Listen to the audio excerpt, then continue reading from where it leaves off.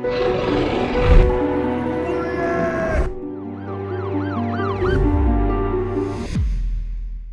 following are two more amazing stories about reincarnation where two people claim to have lived a past life. Philip Harding. Philip was only two and a half years of age when he went to Oxford, England with his Aunt Rosemary. At such a young age, Philip had never been to Oxford, and if he had, he would have been too young to have observed anything that would have had any meaning. His Aunt Rosemary had only fleetingly been through on a coach, so neither would have had any knowledge of the ancient town. They had not been in the town very long when Philip asked his auntie whether they could visit the funny clock. She looked at him in a confused manner and said, What funny clock? Philip then went on to describe a large clock at the side of a church that had strange markings on its face. As auntie had no idea what her nephew was talking about, she tried to change the subject by suggesting that they each get an ice cream and sweets while they were shopping. However, Philip was insistent, and auntie had to admit that she had no idea where the church with the funny clock was. Then auntie was totally surprised when Philip said, Well, I know where it is, and I'll show you. Then Philip grabbed his auntie's hands and proceeded to guide her down back alleys and side streets, and all of a sudden, in front of her was a huge clock face. She then asked Philip how he knew about the clock face, and more surprisingly, knew exactly where it was. His response startled her even further when he replied that he'd once lived here as a little boy called Andrew. One year later, his Aunt Rosemary was babysitting him, and he surprised her again by stating that when I was Andrew, I saw Thomas Becket being killed. She was again taken back, thinking, How does he know about Thomas Becket?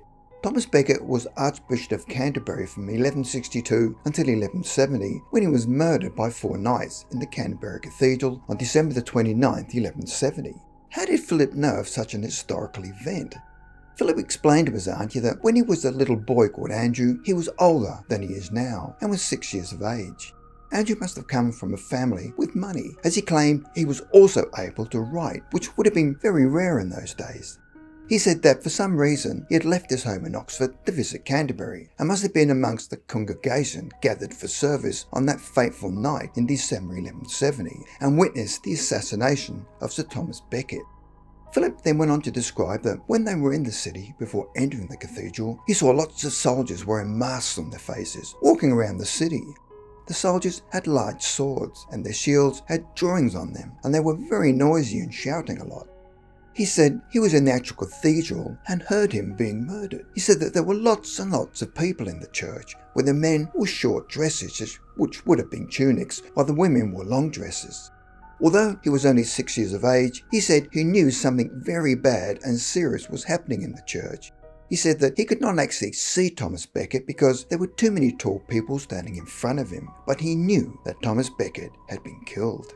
His Aunt Rosemary said that there was no way that a child as young as Philip would know anything about that famous event in history that had taken place hundreds of years before.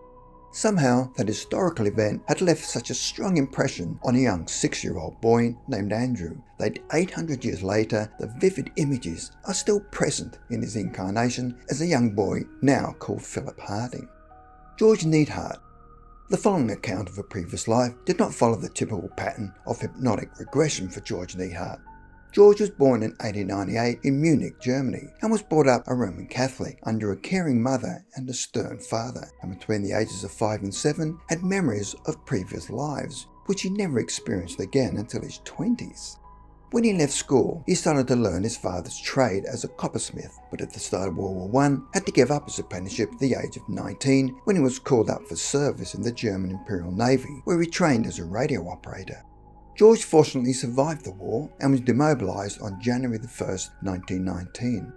He returned to his home city of Munich amidst revolution and violence, where an economic depression was now setting in, and George was unable to return to his apprenticeship. He then married and had a daughter, but within two years his wife had died, and he was still under 25 years of age. George's views on life were now completely shattered, and his belief in the divine justice made praying a struggle. He had no place of his own to live, and a friend allowed him to live in his house. However, it was during this period that George had an experience that affected him deeply and was to transform his life.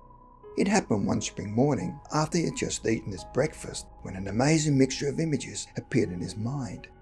But he was not disturbed in any way, and his senses and thoughts remained clear. The images in his mind appeared to be from another period in time centuries ago. The images were so overwhelming and strange that he immediately felt that he needed to write everything down. For the next 10 days and much sleeplessness, the images finally came to an end. What he had found was that the scenes and images appeared to be that of a former life, and the details of the various names, dates, and places gave everything a sense of plausibility.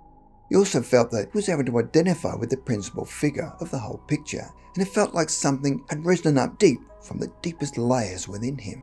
He then made efforts to verify all that he'd experienced from the images in his mind, and concluded that he had not fallen into a delusional state when he'd experienced the mental images. The inner visions that he had experienced had referred to a previous existence for himself. He came to the conclusion that earthly existences can serve as a punishment inflicted on a person as an outward expression of repentance for wrongdoing, and can extend over many earthly existences.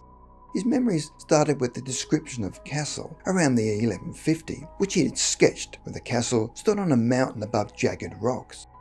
Entrance to the castle was via a wooden drawbridge across a deep moat that surrounded the mountain.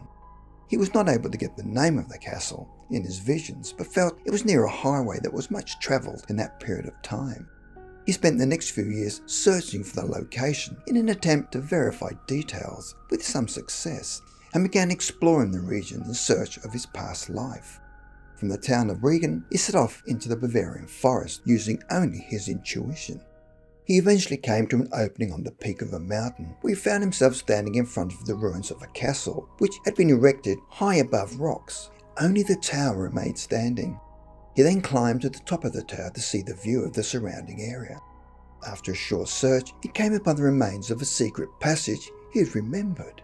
He later saw an engraving from 1726, at which time more of the main building still stood, and it matched exactly the sketch that he had drawn.